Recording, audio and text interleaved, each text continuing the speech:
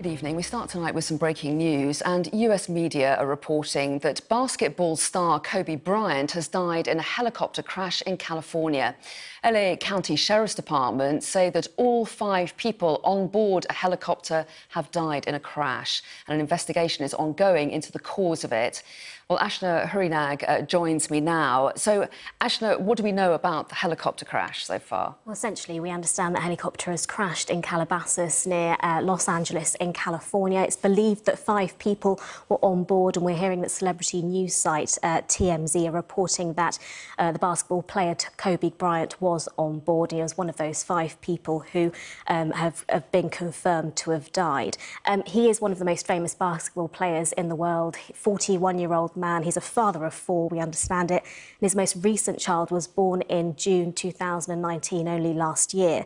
Um, it's understood that his wife Vanessa and their four daughters weren't on board. Um, but as I say, one of the greatest NBA players of all time is what he's known as. And he's used to doing this commute very often. He's used to using his helicopter, going back and forth between bit of punditry, going to see games. So um, we're waiting to see whether that's uh, fully confirmed. Well, that's right. As you say, it's US media reporting uh, this news at the moment. And these pictures coming into us now showing emergency responders at the scene of a helicopter crash in uh, California. Um, Los, in, Los, Angeles County emergency responders there at the scene. And we have heard, as you were saying there, Ashna, from Los Angeles County Sheriff as saying that five people have died in a crash in Calabasas, uh, but they haven't identified uh, the victims themselves, have they? The, the, the reports are coming from the media in America to suggest that the basketball player was on board that. Absolutely. Helicopter. Yeah, we understand it's his um, private helicopter, um, but uh, we're yet to, um, as you say, confirm whether that's that's the case, whether he was on board. Uh, I have decided to skip college and take my talent to the NBA. With the 13th pick, Kobe Bryant. Greatness lies ahead for this young man. Michael Jordan will tell you that Kobe Bryant, the future of the NBA.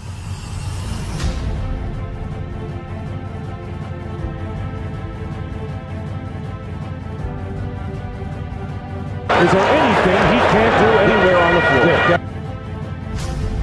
For the Lakers, who finished with a 15-1 run, the best all-time playoff winning percentage. The Lakers have won back-to-back NBA championships. Bryant for three. Got oh! oh! And one of the great farewell performances in any sport at any time.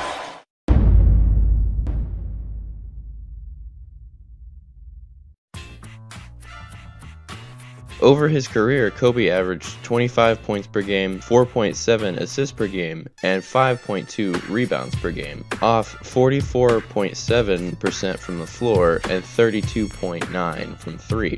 For his career, he is third all time in points scored, third in free throws made, 30th all time in assists, and fourth in usage percentage, meaning he used 31.8% of all of his team's possessions while he was on the court. The only players with a higher percentage were Michael Jordan at number 1 with 33%, Russell Westbrook at 32%, and DeMarcus Cousins at 31.98. That just shows how ball dominant he could be, and the next few sections will see a bit of why and how that worked.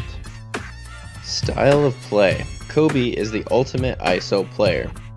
The era he played in was completely different style than it is today, and this fit Kobe perfectly. One of the hardest working players ever, Kobe worked non-stop on developing the moves that would make him nearly impossible to defend. He was a singularly focused player, and this led to the term Mamba mentality. If you look closely, you can see quite the similarity between him and another all-time great.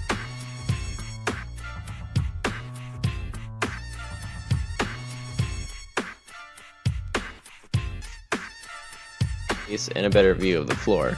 Phil Jackson's triangle offense was tailor made to get the best player isolated on one side of the floor while keeping consistent ball movement or player movement.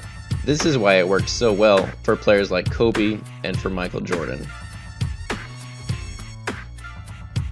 Setup Kobe was always a threat to drive and score. When he drove, he would do whatever it took to get to the rim or to get fouled. His moves to finish at the rim were often creative and emphatic.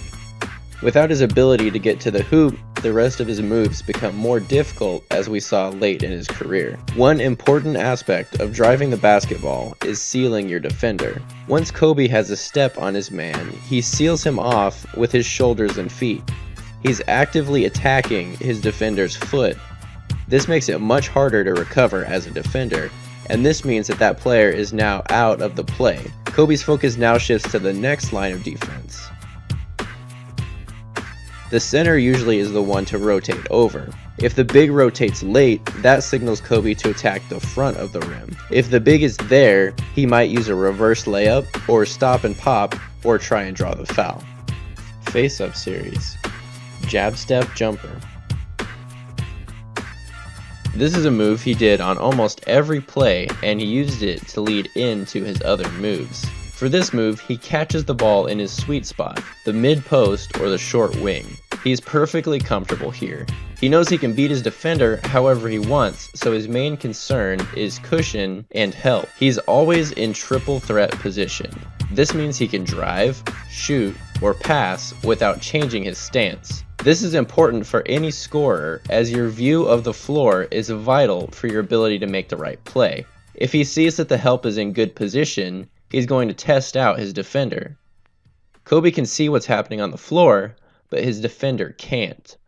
Kobe then jabs to the baseline, which usually forces the defender to back up just a bit, and that's all the space that Kobe needs. Dribble pull up at the elbow.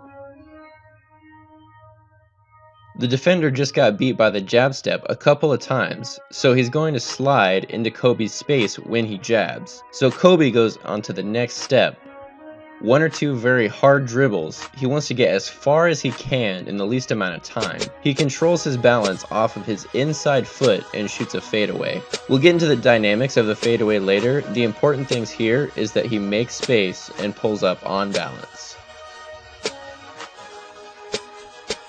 Pump fake fadeaway.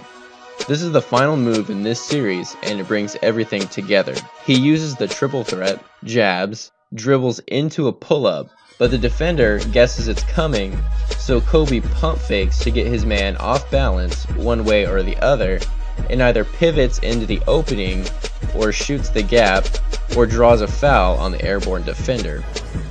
You sell that fake, that jump shot fake, defender raises up just a little bit, now you can go either right or you can go left.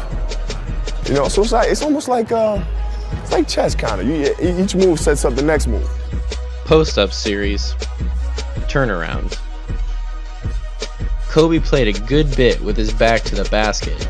This isn't something you see much today, especially for a guard in our modern ball movement and pick and roll style of offense. But when Kobe wanted a bucket, he would buckle down and get in the post.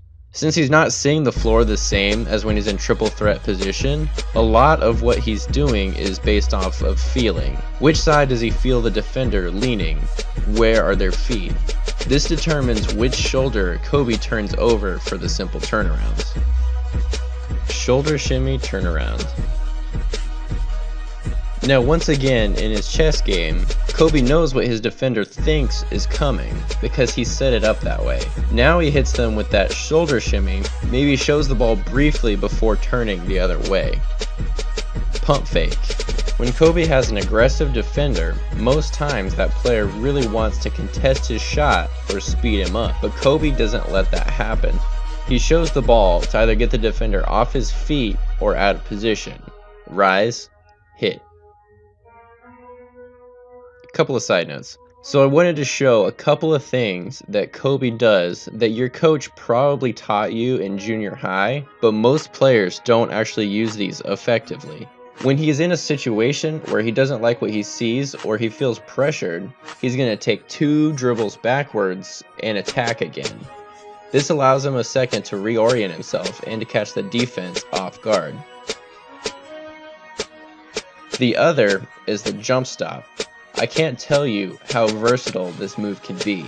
It covers space, it helps gather you for a power finish, it also throws off the timing of the defender. Kobe used it more and more the older he got, and you can see just how effective it is. The most important thing are basic fundamentals. Shooting and footwork. And that's why I can play as well as I'm playing even though I'm like 80 years old. Because of the footwork. Kobe Bryant had some of the best footwork we've ever seen. This didn't come overnight. It comes from practice and repetition. Now let's break down some of his footwork. Reverse pivot. Establishing your pivot foot is just as important as how you use it. When Kobe plants, he's looking at his defender's positioning to determine which foot and where to pivot. Once he establishes that foot, he never picks it up again until he goes into his move, otherwise it's a travel. He keeps his center of gravity low in order to stay on balance and uses his shoulders as a guide to get into scoring position. On the reverse pivot, he uses the inside foot to pivot and the outside foot to quickly turn away from the defender. The reason he does this is because the defender will oftentimes try and play it close to prevent him from stepping through, so he spins away from the contact to get an open look. If you're a younger player, I would work on the up and under move to get a good handle on footwork before you try anything too advanced.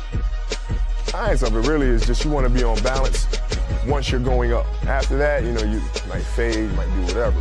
But going up, you want to be able to have a firm base. And pivoting here with this leg here and getting a strong base here. Now, once you elevate, now you can fade.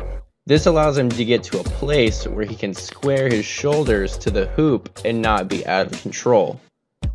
After the jump, you see his feet sway forward and his shoulders back.